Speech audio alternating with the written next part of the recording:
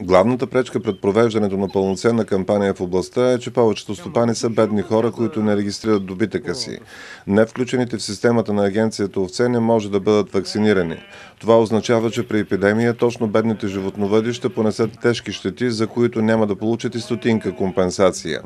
Съответно и всички разходи, които са за унищожаването и е, при евентуална но заболяване са за сметка на стопаните.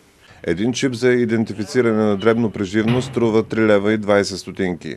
При евентуално заболяване обаче държавата заплаща стоеността на животното, като за миналата година обещетенията бяха от 120 до 150 лева. 3 лева, да кажем, или 15 лева за 5 животни, смятам, че е много по добре и хората апелирам просто да, да го приемат, както си слагат номера на автомобилите, така да направят и с животните. Заради син език през миналата година в региона бяха унищожени близо 500 овце. Загубите този път ще са в пъти по-големи, ако не бъде извършена пълна вакцинация, предупреждават специалистите.